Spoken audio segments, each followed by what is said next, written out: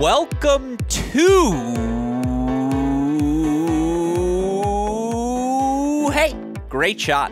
This is the Great Shot Podcast, a Cracked Racquets and Tennis Channel Podcast Network production. My name is Alex Gruskin. On today's show, you have a pre recorded edition of The Deciding Point, our weekly breakdown of everything that happens in the Division One college tennis world. Of course, here on Tuesday nights on our Cracked Racquets YouTube channel, we break down all the Division One women's college action that happens over the course of any week throughout the season. Now, a quick disclaimer as you heard me allude to in this introduction. This is a pre recorded edition of the episode. I am currently traveling to Phoenix for that ATP 175 inaugural event happening there. I am sincerely hoping we get plenty of contact, content, excuse me, for all of you Cracked Racquets fan to enjoy from the event. I am also sincerely hoping to have a sit down interview with Matteo Berrettini for all of you. So we'll all knock on wood. We'll all hope that happens. Nevertheless, because of the busy schedule this week at CR, we did decide to pre record this deciding point episode. Wanted to make sure we had something for all of you college tennis fans. Unfortunately, we aren't able, though, to record this week's episode live. Nevertheless, we still have plenty of fun action to discuss here on today's show. Conference play starting in multiple sections of the country. You also have a few lingering spring break trip results for us to discuss. Plenty of meat on the bone as it relates to this show. And as always, we'll get into all of the results. We'll talk about our newest Cracked Racquets top 10 rankings. We'll talk about the week ahead as well. And joining me, as he always does, to do all of that is a returning champion of returning champions here on our Cracked Racquets show, someone you know best as the co host each and every week of these Deciding Point episodes, founder of the No Ad, No Problem blog and podcast, and our dearest friend. It's John J. Parsons. Jay, hey, great shot. Welcome back to the show. How are you doing tonight? I'm good. A little thrown off by the Monday Audible, uh, eating into my Bachelor viewing on Monday nights, but uh, happy to be of service, happy to be of beck and call, and we certainly have a lot to talk about, so I'm excited to do it. Well, doesn't The Bachelor start at 8 p.m.? It does. Okay. But there's preparations. You got to make dinner. You know, you got to make everything. Got, it's a full, full ordeal. Well, I sincerely apologize. Now, the good news is you can find all of those things on demand in today's era. That said, there is nothing That's quite true. like watching. Yeah, don't watch anything live. Yeah, I mean, I'm curious though because The Bachelor happens at 8 p.m. Eastern time, which I know you're not watching in the moment. Are you avoiding all the spoilers on Twitter in the meantime? Yeah, I have the hashtags muted. See, this is why I love working with Jay. He thinks about all the angles, he has them covered. I apologize, Jay, for taking you away from The Bachelor. Is it a Bachelor or a Bachelorette season? It's a Bachelor season right now. I, sh- I should know that. My Dr. Gruskin, my dear mother, uh, longtime viewer. I think I tuned out. At, I think Jesse Palmer was my last season, so it's been a while for me. Well, he's back. He's the host now. Yeah. Did you know that? You know, in another in another world, you're just telling me like let's say it all breaks right for me over the next 20 25 years again we'll knock on wood twice twice here to start god willing you're telling me i couldn't go up on stage and be like mackenzie this is the final rose and then just leave like you're t- i think i would be so good in that role and Look, when they were replacing Chris Harrison, did I think I should put my name in the mix? I thought it might be a hair too early, but like, I think that's the highest aspiration for me, Jay, is future Bachelor host. I mean, it's a sweet gig because that one Yeah. line is basically all you have to deliver, and then you just get to travel. That's what I'm saying. Or like, so you enjoying the Acapulco Islands? Like, Yeah. I mean, like whatever it is. Like, I'll figure out the questions. That's not Yeah. the hard part No. of it. I'm a man who enjoys destinations. I have a passport. Um, but yeah. Anyways.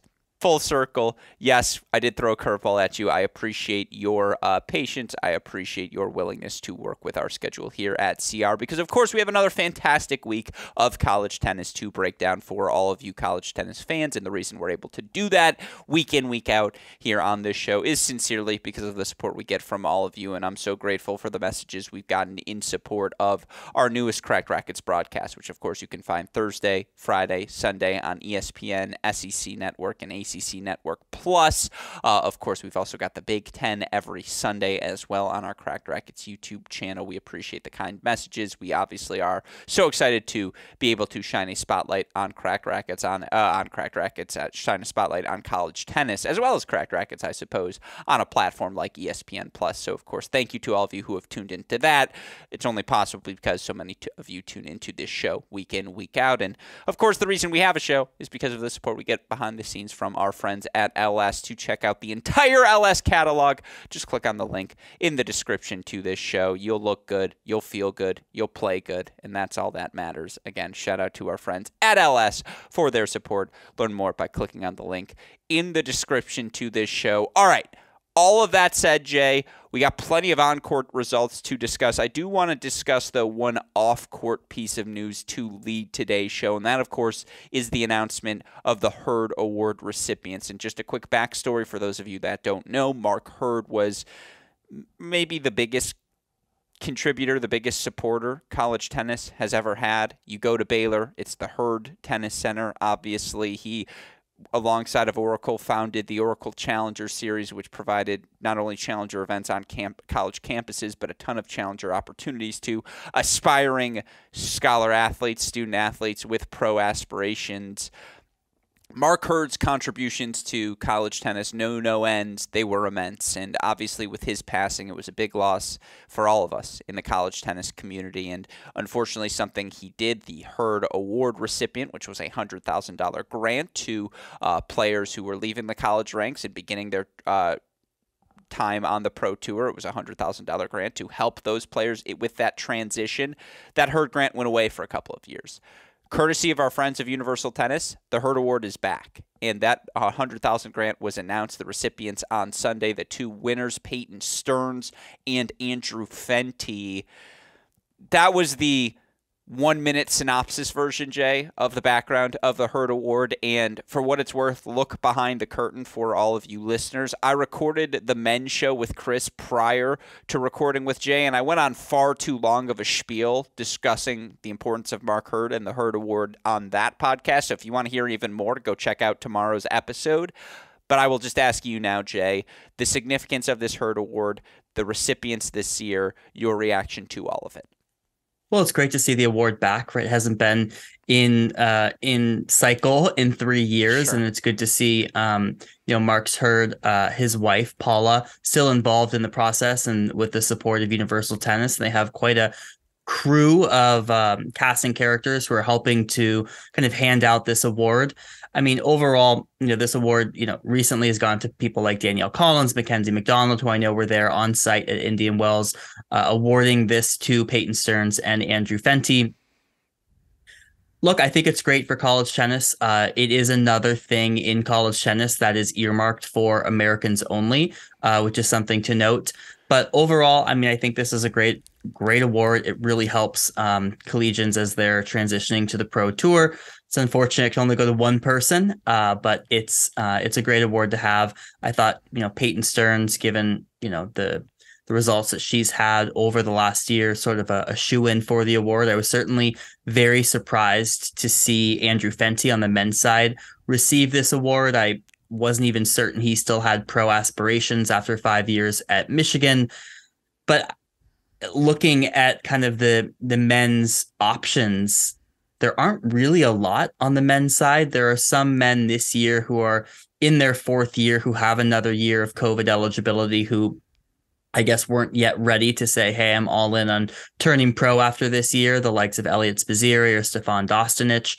But overall, I think it's a it's a fabulous award, and I look forward to this supporting both of um, Peyton Stearns' already very successful start to her pro career, and look forward to seeing what Fenty does after May. Yeah, look, Mark Hurd was an advocate for American tennis. If he and his family want this award to go to an American again, you'd love to see every collegiate athlete eligible for the award. But again, we're not going to we're not going going to be upset that this award is being given out, even if it's not the exact criteria we were hoping for. No, not at all. Uh, to your to your point, it is fascinating because yeah, like again, Peyton was the pretty clear cut choice on the women's side.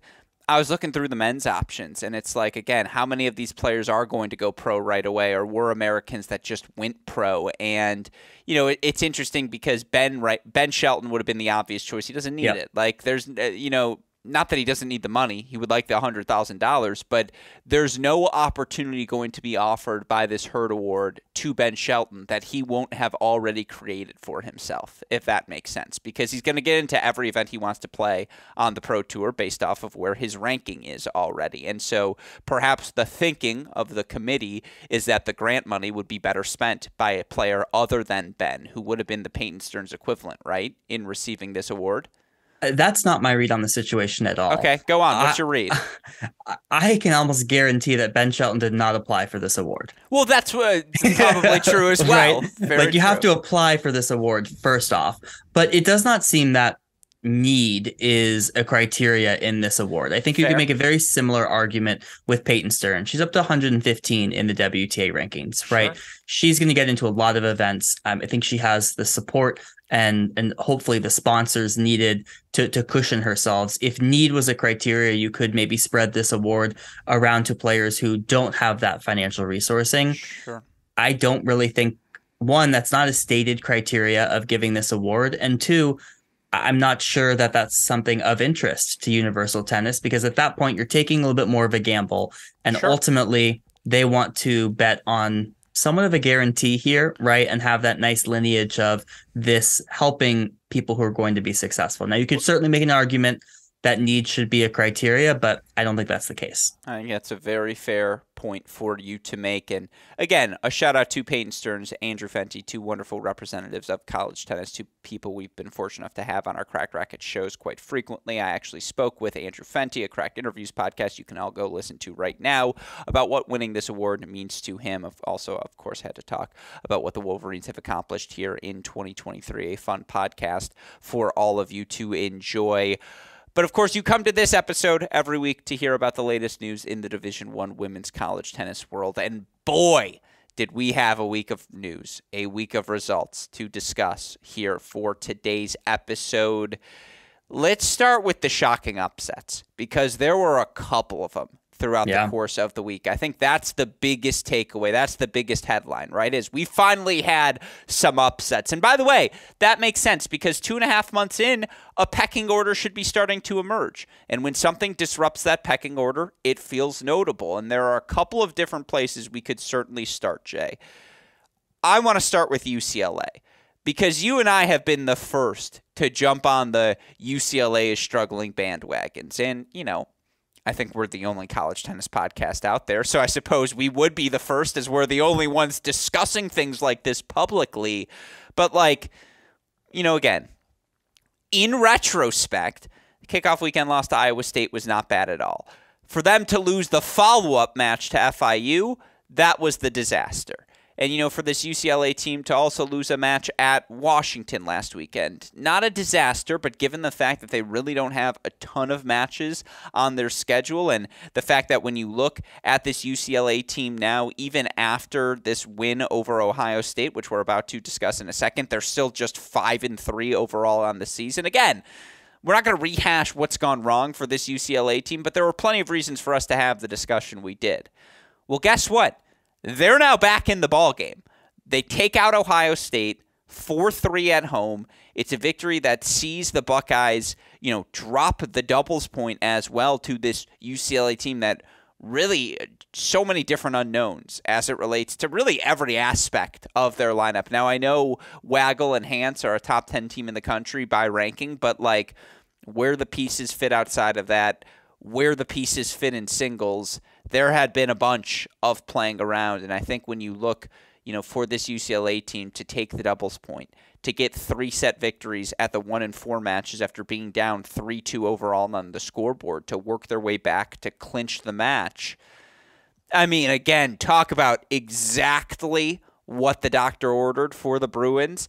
We said they needed it. Jay, they got it. Yeah, they did. And it was a really interesting match because I, I think UCLA could be favored just because of the strength of that number one doubles positions in doubles. I'm saying they could be favored in that doubles position. what was interesting is a lot of these matches were extremely lopsided, right? At number two, Sydney Ratliff beats Kimmy Hance three and two. Ava Catanzarite beats Coley Allen 0 and 2 at number three. You know, at five and six were blowouts. Uh, Ohio State takes both of those. And so a lot of those points were off the board very quickly. And there were only two three set matches, like you talked about, uh, with Tian of UCLA and Kontos at the number one spot, and then Vagramov and Boulais at the number four spot. And UCLA comes out in both of those, and particularly the match at number four with Sasha Vagramov, who is one of the most senior players on this team, one of the connective tissues to that UCLA team who made the quarterfinals in 2021 she'd been really struggling to start the year, playing her down at the five spot and still losing matches there. She came through in this match. I know Isabelle Boulais, another player who has had some struggles to start the year, but the Vagramov looked looked really good and she knew it was going to come down to her and number one and, and she pulled through so i was really impressed by both vagramov uh, and tian in that performance knowing how much pressure was on this match and the need for them to really pull out this upset tian's really good like yeah. she's the freshman we haven't spent enough time talking about, and she's top 75 in the country for the reason she'll probably move into the top 50 following this win over Kontos. That's a really impressive three set win, but you know, again, I still don't know what to make of this UCLA team. Now, again, this just gets them back in the ball game, right? They're back in NCAA tournament mode. They still have the entire Pac-12 season to navigate. A home and home with USC, a Pepperdine non-conference match on the schedule as well you know, again, do I think there's enough there for them to be a top 16 team? If they run the table with this win over Ohio State, maybe. Like, but that's them winning, running the table, not losing another match from here. More broadly for this group, though, that is very young across the board. This is just a big win. This is a reaffirming, confidence building win, and it's one again this program needed after obviously the disaster that was last year and the slow start to this season. On the flip side for Ohio State, look, Kontos and Ratliff are the top two in whatever order you want to play them. Brizniak has been rock solid, and you want to keep her at five or six, and she played six here today and got a straight set win. You want to keep her there as long as possible. I don't know how long you can, Jay, because again, Cole. I love the thought of Coley Allen at five or six. Don't love it as much as three. Like, what does she have as the weapon there to really hurt an opponent at three? I don't know obviously Boulais still working her way back from injury. She's not what she was last season, not the best version of herself right now. So you hope by the time she's done, maybe she is the clear cut three. But like, there is no difference between Allen and three and Brizniak at six right now. And obviously you've got Danielle Wilson sitting on the bench as well. I don't know. Where are you with these Buckeyes now? Well, not high. Yeah, uh, sure. You know, I think Eight this is five overall, by the way. Now, yeah, and they have the most lost points out of any top 25 school right now. That will decrease uh, once UCLA moves up the rankings, right? Not, you know, UCLA probably underranked there at 64. But yeah, I mean, I think you're right. They have a top two that they're probably never going to go 2 and 0 against the top teams. Uh, at 1 and 2, I think it's going to be tough. Um, so at best, they're going to go 1 and 1. I think they but they should find- always go 1 and 1. Like 1 and 1's the number. I, I mean, again, like I think one of Kontos and Ratliff, if one of them plays their best, they should win. Against the best schools, it's going to yeah, be I mean, tough, I mean, right? like sure, but this is relative. Yeah, okay, fair. To, to, like top ten, right? Like okay, this is the tier one conversation. Yeah, they came into this saying. match okay, ranked number sure. four, right? Yeah, so, um, but look, I mean, the, the depth looks good, right? If they can find a way to keep Marzal and Brizniak there, but I just don't think you can. To your point, um, so uh, yeah, look, that said, Shelly Brizniak is really good. Like it's just real. Uh, she's healthy. She is. I mean, again, that's why like I would I would give her a shot at three. Why not see how her level translates? Yeah, but they're moving her in the opposite direction. They I know below Marzal. So there's some weird stuff going on. Um, and it'll it'll take a while before Coley Allen at three can get down to five and six. Yeah, and look, this Ohio State team is extraordinarily tested. They've played everyone to start the season, and they're an experienced group. Uh, but yeah, no, certainly I think that was one of the more notable results, maybe the most noted upset yeah. of the weekend. Rankings wise, by far. Yeah, just something we did not expect to see happen. I think the other, probably the second most shocking upset, uh, no, maybe not second most, but has to be on the list, is that Texas splits the Oklahomas, and the match they lost wasn't to the Sooners. You look for the Longhorns, who got a very impressive four, uh, excuse me, five two victory over Oklahoma on uh, Friday. They drop a match four three to Oklahoma State on Sunday, and look, we said it was going to be a tricky weekend taking on these two Oklahoma teams, but I mean, for this Oklahoma State squad you know, now nine and four overall. Obviously, a couple of losses for them to Michigan. They were searching for a signature victory. Well, now they've gotten it. And, you know, for this Oklahoma State team to take doubles point, take the doubles point, excuse me, and then to win all three of the bottom three matchups, four, five, and six, is where this experienced group pulls ahead from this really young Texas team. A, that's notable on face value. B, talk about quick matches, Jay all six of the singles matches were decided in straight sets. That like that so rarely happens, especially in four three matches. Yeah, I mean the thing that made this match in particular surprising was the combo platter of what we had just seen from Texas against Oklahoma 2 days prior, right, which was a really dominant performance and I was thinking okay, this is the Texas, you know, we're starting to get into mid-March, going to start to see kick it into high gear. That was not a close match with Oklahoma. I mean, that was another straight set wins at, you know, Kieran, Zaynalova, Pashkaleva. I mean, they were ripping off the straight set wins. Then they turn around and Oklahoma State sweeps at four, five, and six, all in straight sets. You have Miyamoto at four, Rojas at five, and Gonzalez, the freshman, at six, get the clincher over fellow freshman Nicole Rivkin at Texas a really good performance for Oklahoma State. The first time they've beaten Texas since 2017. First time they've done it at Texas since the year prior, the year they made the NCAA final. So uh, you're right. This is a team that needed that momentum, right? Had kind of dealt been dealt a tough hand early in the season with a tough kickoff region, not making indoors and now has some momentum carrying into the Big 12 season. Mm-hmm. Where are you with this Texas team? To your point, Pachkaleva, Rapolu, dominant straight set wins over Oklahoma the day prior. They take losses to Oklahoma State. Rivkin, the freshman, clearly still a work in progress at that sixth spot. Will be interesting to see if they hold with her, if they go to the Marley Zane uh, lever that they have on their bench. Obviously, you look for Kieran, straight set wins over Sleeth and Novak. She's clicking at that number one spot. I think Zaynalova, Shavatapan have held up fine at two and three. Doubles has been a work for Texas, no doubt about that. You're never quite sure what you're going to see. I mean, th- here's the thing: is the room for improvement is so evident. At the same time, I don't know how sure that improvement's going to be in the way it was last year, where it's like, oh, okay, by March all the freshmen started clicking. This team's not clicking in that fashion yet. Yeah, and it's people that I think should be clicking, right? I think like Pachkaleva, right, should be getting better week after week. Uh, Rapolu has the experience. You know, maybe you say Nicole Rivkin falls into that category of, oh, she'll be much better in May.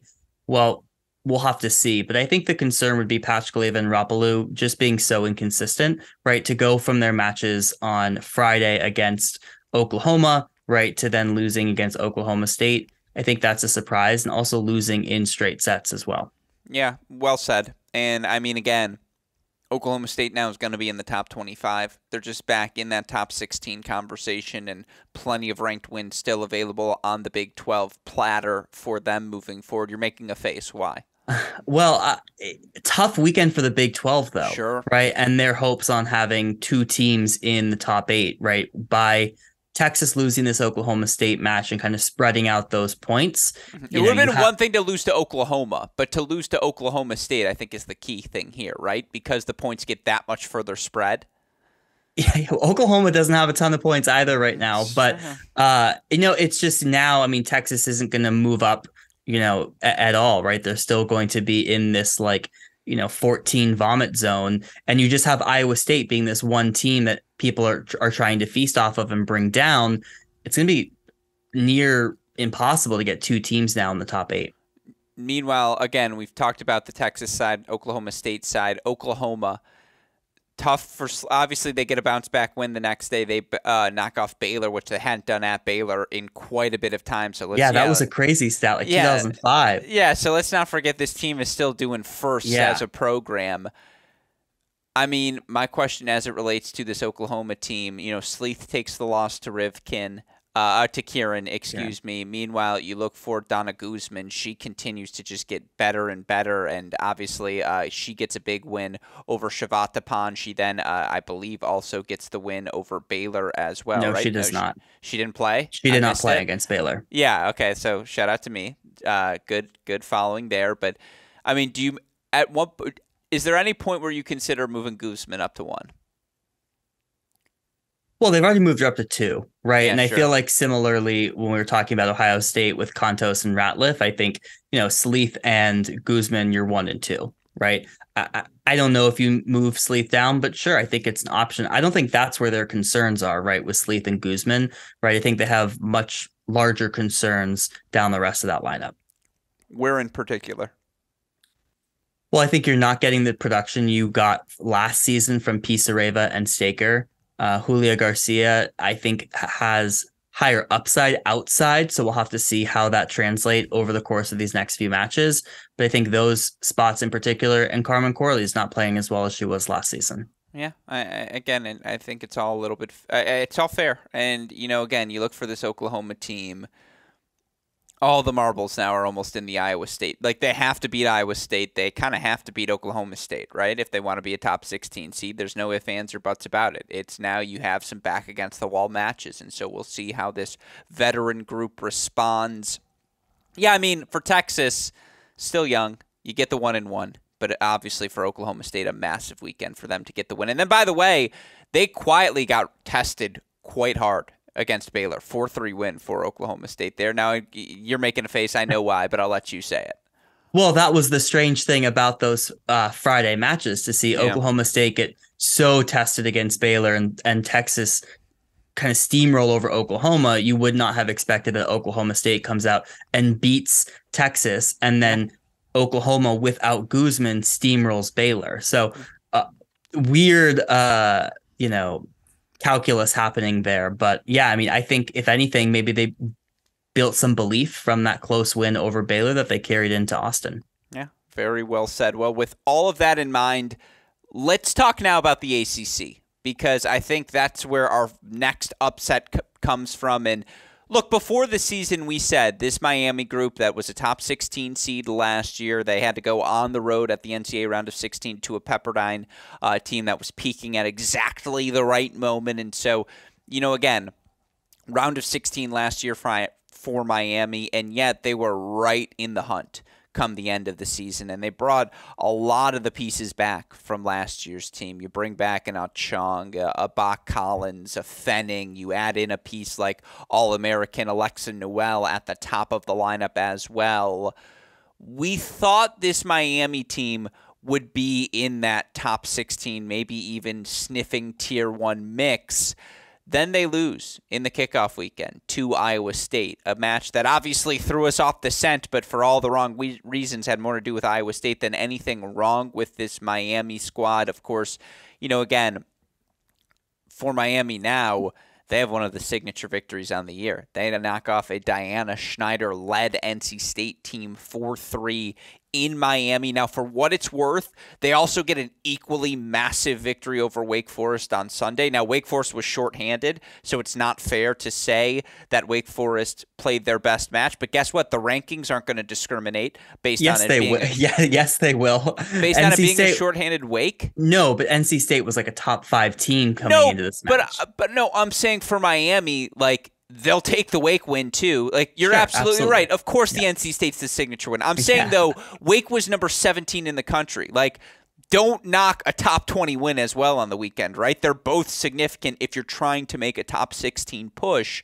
Especially, by the way, after the 4 3 win, like there's going to be a hangover in the next match. And to see them drop five matches in the three singles victories they needed to clinch was like a joke against, yeah. again, a short-handed Wake Forest team, but still – 4 3 win. Miami knocks off NC State. They drop the doubles in that yeah. match, Jay. They find four singles victories, most notably Noel, 4 and 1 over Schneider. Miami's back. Yeah, well, it wasn't just that Iowa State loss that threw us off the scent. It was also the Syracuse loss, which yeah, just sure. recently happened. Uh, but that one particularly, there are a lot of extenuating circumstances of having to go upstate New York, play indoors. Well, it's funny you say that because in my head I was thinking, all right, I know they're now eight and two or nine and two overall. I was like, I can't remember what the second loss was, and you're right, it was in Syracuse a couple yeah. weekends ago. Absolutely, exactly.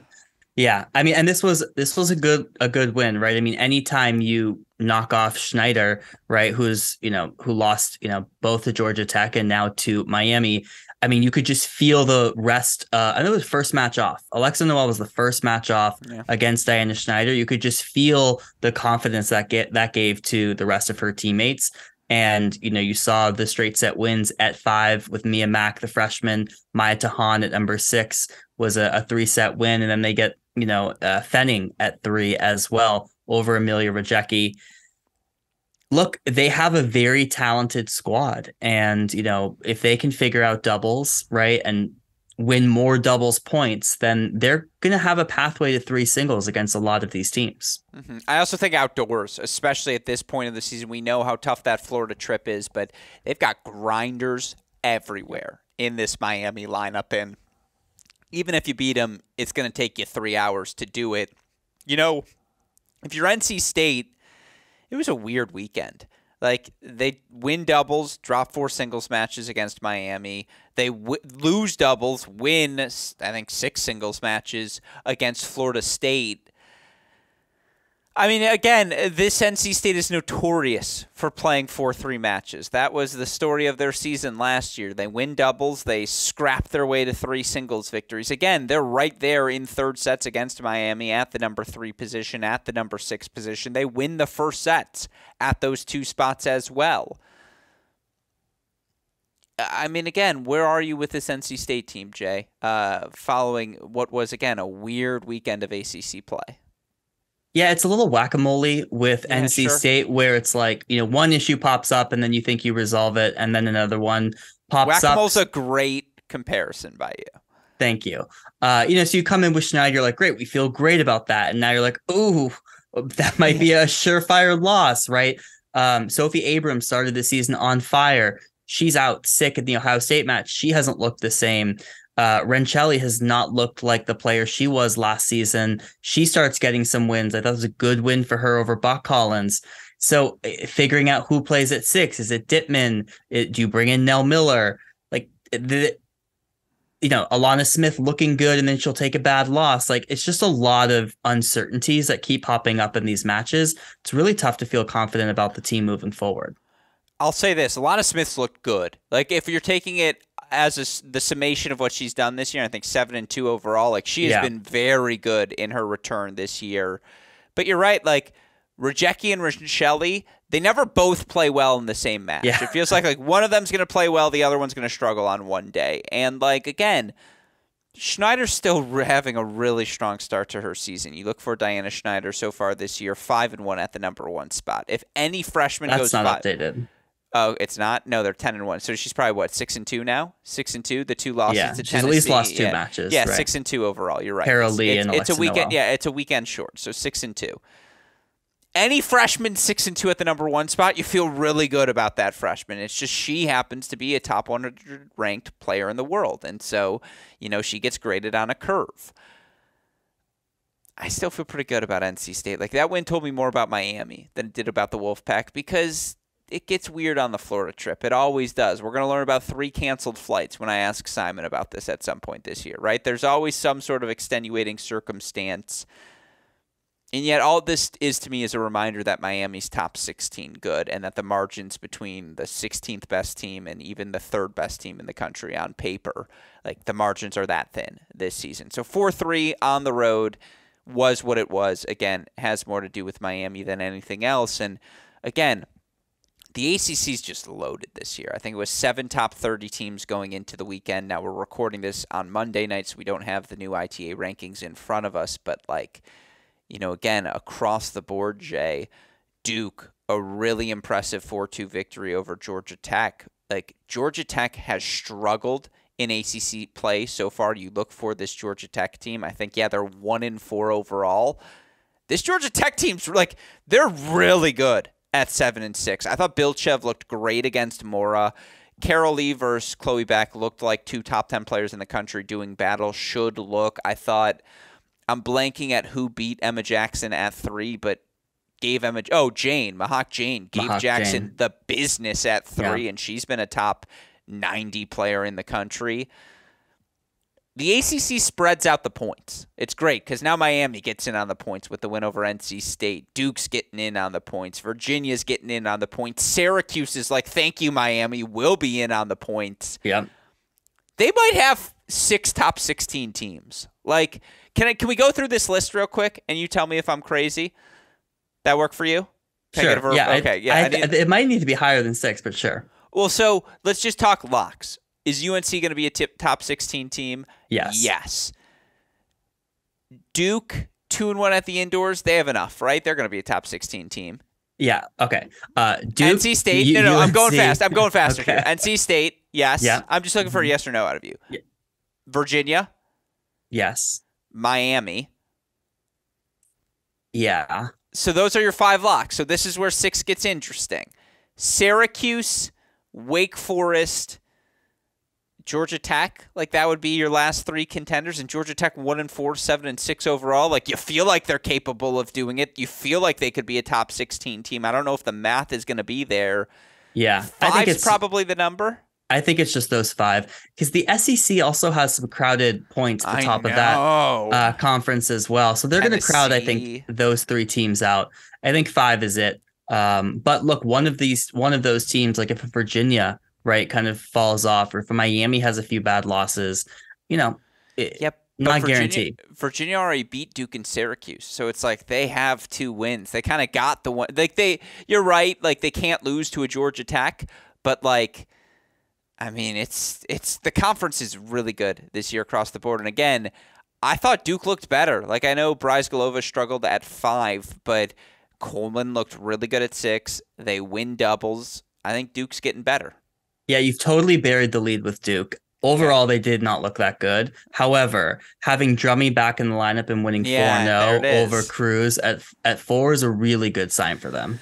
I'm just buying stock in Duke when they make their inevitable semifinal run. Yes, because yes. Chloe Beck now 14 and 0 at the number one spot this year, career win number 98 in singles. She's about to hit the century mark. Like, you know, and she's going to do it in four years too. No asterisk, Jay. She's going Right. to do it in four well, years. no, there is an asterisk because 2020 was a oh, short. Oh, she did it in three and a half. That's Yes. nuts. That Yeah. is historic. Dare Yeah. we say? That's keep in mind, folks. Watch Chloe Beck every time you have the opportunity to do so. Is it fair to say when we didn't mention him in the con- conversation? I think Wake Forest gets eliminated right after losing to both Florida State and Miami. I don't think there's a pathway for them to be top 16 any longer. It opened after last weekend with the win over Georgia Tech. Probably closes this weekend, right? Agreed. Yeah. I mean, again, more broadly, I think things look really good in the ACC right now. And, you know, again, just quickly because we're going to use this segment on our ESPN Plus, ACC Network Plus feed, Jay. So I'm going to play a quick game with you. I played with Chris. You tell me just yes or no, rapid fire, if they're an NCAA team. Now, as we've already established, North Carolina, Duke, NC State, Miami, Virginia, locks to make the NCAA tournament. Is 11 and 1 Syracuse a lock to do so? Yes. That's yeah, it's hard to argue otherwise. Wake Forest 11 and 7. No, because uh, these are not one word. No. You, you, don't have to one word it for that. Okay. Yeah. Well, I mean, Brylan and Killingsworth both absent. I don't know how serious those injuries are, but that could really derail their season. yeah, they might flirt with the 500 rule because the ACC is that good. That was Florida's last six matches. The Florida men are laughable, and it's like they might be under 500, and that's what you worry about with Wake because they've still got the gauntlet remaining. Florida State tournament team. That one's going to get interesting. Yeah. I'm going to go no. Notre Dame 10 and 4 right now. Yes. Georgia Tech 7 and 6 right now. Yes. They're going to flirt with that 500 rule. If this team doesn't make the tournament, it might be one of the five best teams ever to not make the tournament. That's how good this Georgia Tech team is. Um, to not make the tournament, Jay. Now that wasn't that grand of a pronunciation. You're not one of the. This team is clearly top forty. Um, BC. No. Clemson. No. Virginia Tech. No. Louisville. No. Yeah, I think that's where things stand in the conference. I don't think I have a strong disagreement with you one way or the other. Other than I'm going to give Florida State the benefit of the doubt. I'm going to say they sneak in, but yeah, that's going to be really close. And that's your uh, update on everything happening in the ACC. Of course, again, we have broadcast for you every Friday and Sunday on ESPN and ACC Network Plus. So be sure to tune into our broadcasts. Let's move over to the SEC now, where we had a bunch of other fun results, I thought, throughout the course of the week. Let's start with Tennessee a team you know I've been on the bandwagon for. Jay, I think they're legit. I think they've got real depth, one through six, and you saw that manifest itself this weekend. 4 2 win over Kentucky, but perhaps most notably, the 4 3 victory over Vanderbilt on the road in Nashville. You look for this Tennessee team to drop the doubles point, but get victories from Tomase at two, Koutser at three, Adesina at six, and then Molinaro with a really fun clincher over an Lee who had lost just one dual match throughout the duration of this 2023 season coming into it. That's the signature victory the Vols were looking for. They're going to be top 16 in the newest rankings, Jay. They deserve to be. Like this Tennessee team, they're everything Auburn is. Like it's the same. I'm telling you, they're the same teams, Jay. Like if when Tennessee plays Auburn, it's going to be seven hours of never-ending tennis. I I don't know about the Auburn comp, maybe Auburn from last year, but yeah, this is maybe. a is a Tennessee team that has much more experience than this Auburn team, and I think is one of those teams that you know the misses indoors, right, and then kind of goes quietly under the radar. But you know, as we talked about, like very little drop off between one and six for this mm-hmm. Tennessee team. And, you know, to get that win, the clincher in 7 6 in the third over Nessa Lee of Vanderbilt, who had been their most reliable point. Just an incredible performance for Molinaro. And they're really strong at two, three. I mean, just the the middle of the lineup, the lower half of the lineup.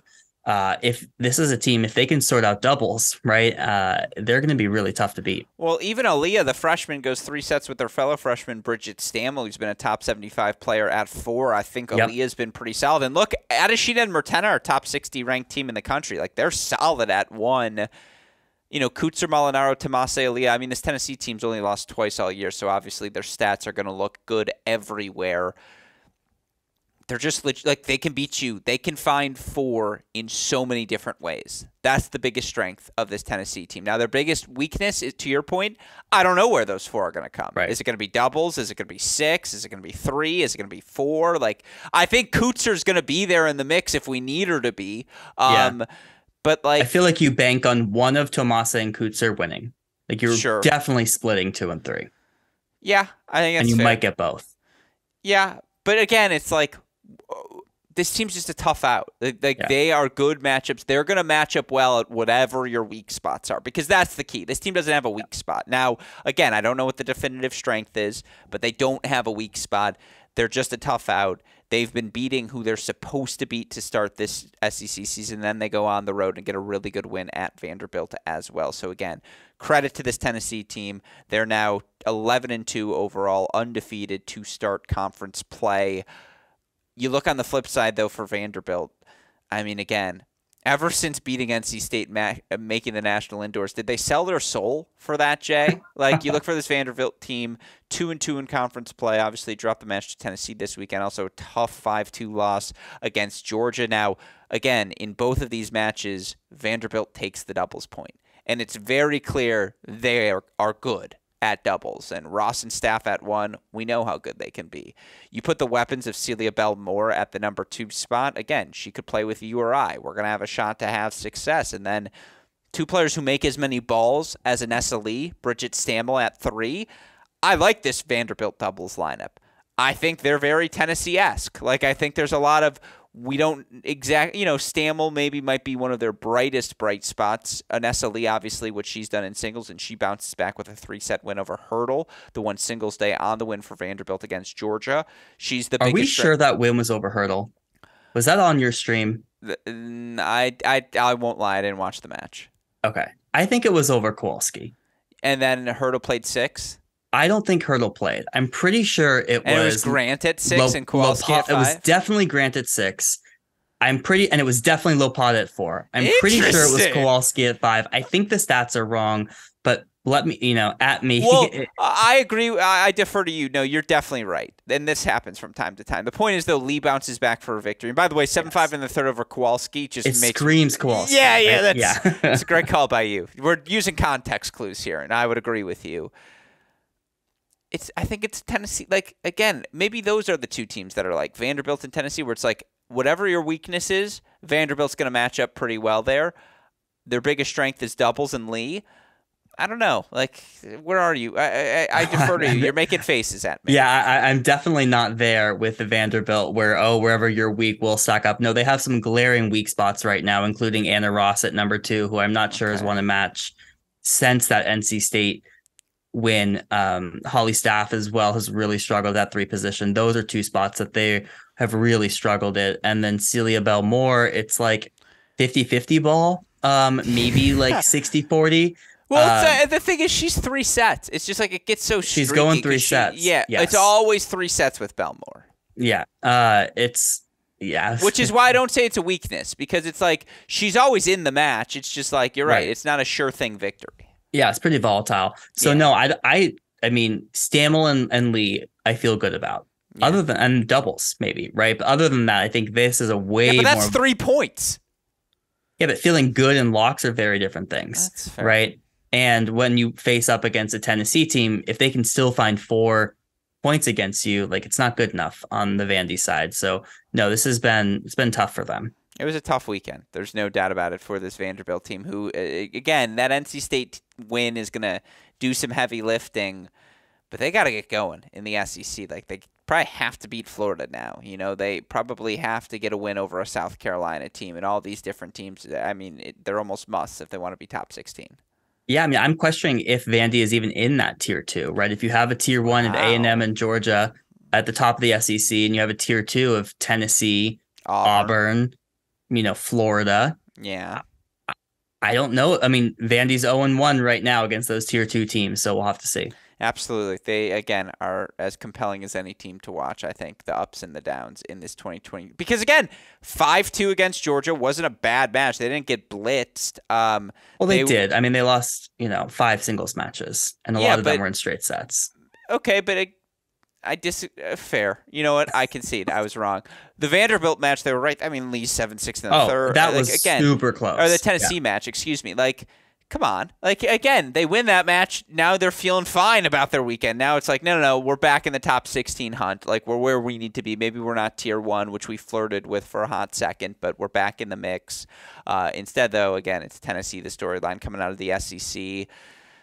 Let's talk about Auburn real quick.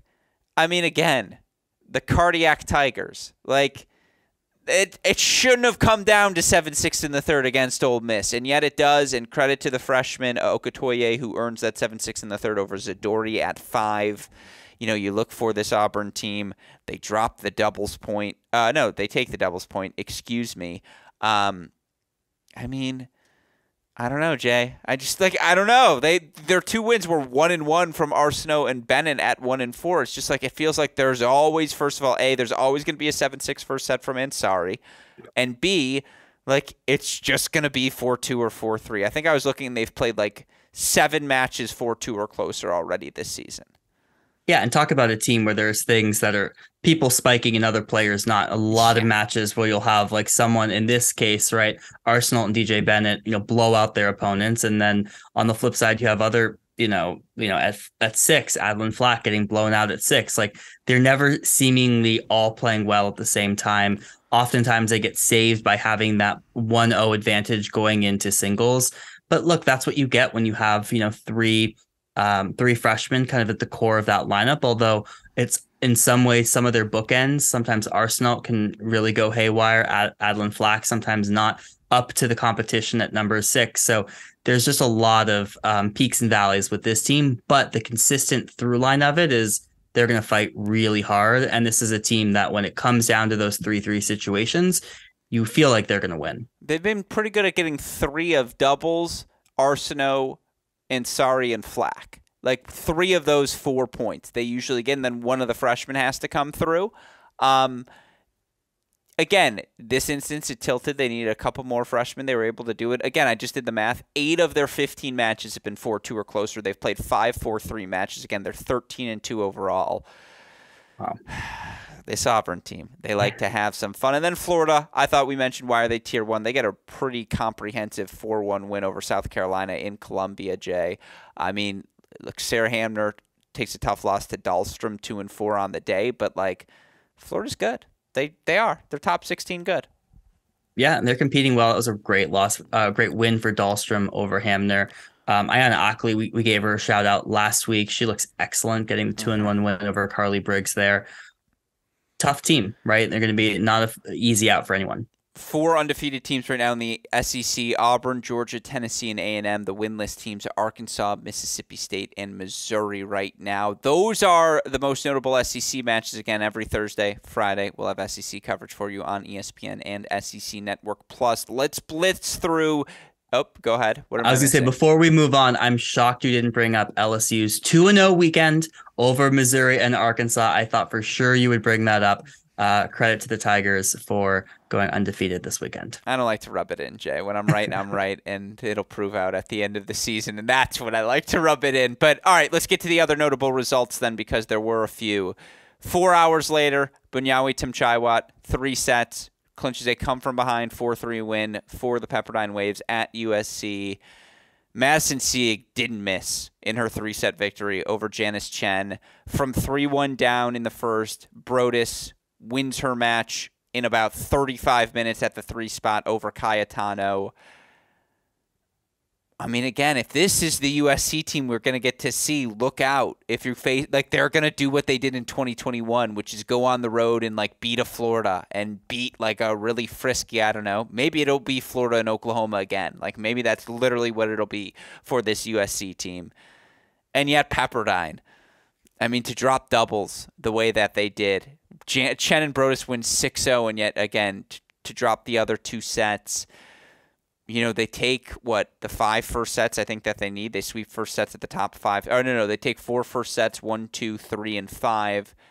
Thamchaiwat Charney was just a grind fest, and Thamchaiwat the fifth year versus Charney the freshman. That's one Pepperdine's gotta have. They ultimately get it. Like, I mean, again, she fought off a match point.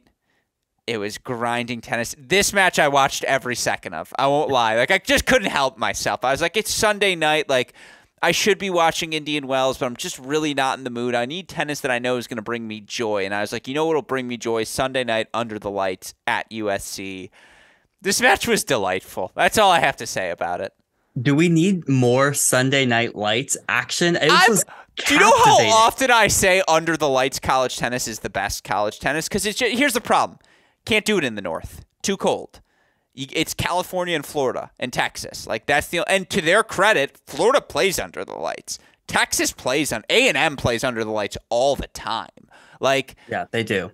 Eh, Baylor does it too. Like they the problem is you can only do it in so many places, but I agree with you. If you have a school where you can do it, fucking do it. Particularly if you have any hope of going to NCAA final site, almost always you're playing under the lights there. Okay. Can I I'm sorry for cutting you off. To that point, because you know the anecdote's coming. If I could do anything different, when I'm on the treadmill having regrets about our run to the Club Tennis National Championship, because those who have watched the highlights know Max and I lose our match in that match, it's because a kid from the North, like I am, I don't play under the lights tennis. You never play under the lights in Michigan because it's too cold. And why would we put lights up at a high school when you're not going to use that high school the winter because it's too cold to play outside? Um, it's the single biggest regret I have is I would toss up the ball on the serve and I was like, I don't know what's going on.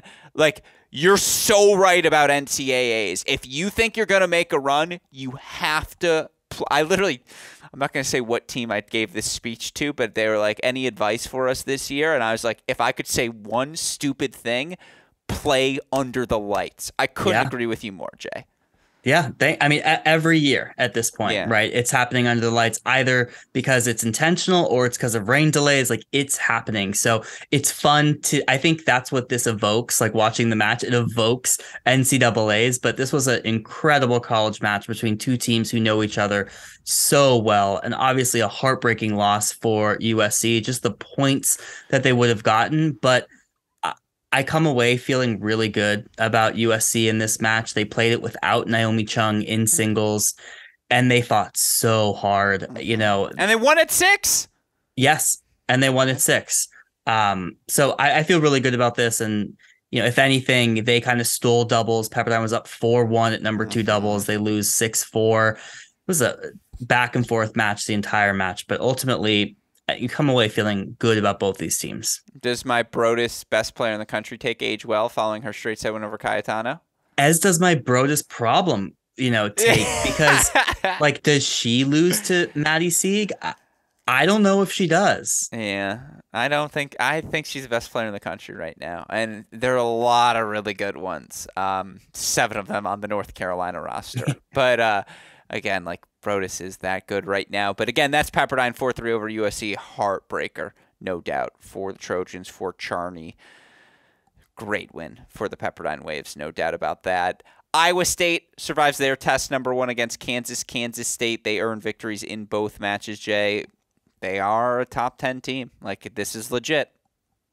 Yeah, they rolled through Kansas, and actually, Yeah. uh, that was supposed to be the tougher match, and then kind of got tripped up a little bit against Kansas State. Kadlichkova lost her first match of the season. Question for Iowa State is going to be how much longer do they keep Knocklow at number one with, uh, you know, Obi behind her at number two, who's just playing fantastic tennis. Kadlichkova, who's only lost one match. I think there's going to need to be a little shuffling of the deck there, but look, uh, I, I said this this weekend. I feel really good about this Iowa State team getting three points against any single team in the country, even North Carolina. Can they get the fourth? We'll have to see. Yeah, very well said. Illinois 4 3 over Northwestern. I mean, tough for this Northwestern team now, which I think falls to 5 and 8 overall on the year, which is crazy to say out loud because we know a lot of those Northwestern pieces, although they are working in some new ones still. It's a really good win. I don't know how else to say it for this Illinois team. Clinched in the third set by Megan Hooser, 6 2 there over Christina Hand. I mean, Jay, good win, Illinois. Yeah, it's been a tough few years for Northwestern. This is now the third straight year that Illinois has beaten Northwestern. First time in program history. They've won three in a row against the Wildcats. You know, this is now an Illinois team that's hovering in that 25 30 range rather than in the like you know cut zone for NCAA's, and this win will help them, um, and also just the momentum right that they get as they start Big Ten play. Yeah, last note I would have Charlotte over Penn State. I thought that was a good win for a Charlotte team that's proving they are top 35 good. Anything else you would point out? No, that Charlotte match being tied for program history, highest win uh, that they got. So um, credit to them. You know they had a really good conference tournament last year. Um, so Yeah. that was the last one. Can I give one other shout out? Uh, I did give my shout out of LSU. So yes, Yeah. that was my one. Shout out to you, John J. Parsons, who does a better job of capturing match points and tweeting them out than anyone else in the college tennis universe. Seriously though, it's an exceptional it's an exceptional addition to know that it's not just the teams tweeting them out, but anything that's missed you're gonna cover as well. So shout out to you, Jay. I thought you did an excellent job this week showing a lot of the really fun moments. But again, all that said, let's get to our rankings. NC State falling. We did obviously have some movement, and here's where things stand. Again, we're doing this without the current ITA rankings, so we can only go over our latest Cracked Racquets poll. And I have to look at the graphic here from super producer Daniel Westoff. Again, we have movement at the number one spot, North Carolina, two A&M, three Georgia, four now Pepperdine up to the number four spot, five Iowa State, six Michigan, seven NC State, eight Auburn, nine Ohio State, ten Virginia. Jay, what what's your biggest difference for between your rankings versus our rankings? I didn't have Pepperdine at four. Um, I think I still had them behind Michigan or maybe, you know, Iowa State above them. I didn't have them that high. I didn't have Auburn in my top 10. Mhm. Um, I think that they're definitely going to be buoyed by that Pepperdine win. And I think I demoted Ohio State out of the top 10 as well. Auburn and Ohio State out of my top 10 also. I went with the smorgasbord of ACC teams in my 7 through 10 spots. I went NC State. Yes, you lost to Miami, but you have the most non conference wins. So they're 7. Duke is 8. UVA is 9 because I know UVA beat Duke, but again, whatever, totality of wins. I have Duke 8, UVA 9, Miami 10. Like, and then Auburn's right next, and Ohio State's right there as well in that conversation. I went Pepperdine five, Michigan six as well. Like again, it's interesting. I, I, all those teams though, pick a pick a name out of a hat. Like if I don't know if Auburn played Miami, who are you picking? Outdoors. Probably Miami right now. Yeah, that's why I had Miami at 10 because I was like, uh, you just have to be honest with yourself, Alex. And if you can't answer that question saying Miami would lose, you should put them at the 10 spot. And so that's what I ultimately did. But no, not the biggest disagreements. We'll see what comes out on the ITA rankings here this week again a little bit. I will say I had Stanford still in my top 10. They just missed Texas on the outskirts, obviously, right now as well.